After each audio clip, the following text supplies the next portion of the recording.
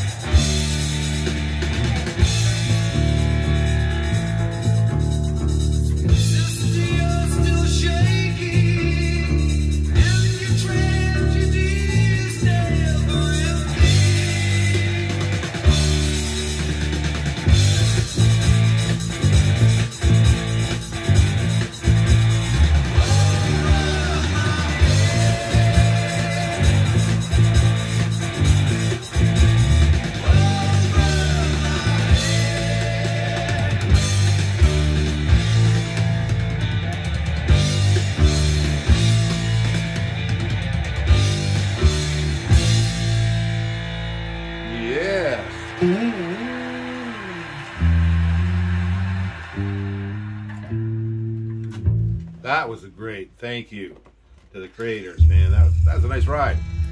Out in the street, UFO 1975, E Standard A446, and a pair of 95s. 101 longest uh, note streak. Hmm, not too shabby. Like, subscribe, leave a comment, and if you have a song you want me to play, let me know. If I've got it, I will try to play it. Well, try, baby. And if I don't have it, I will find you something, man.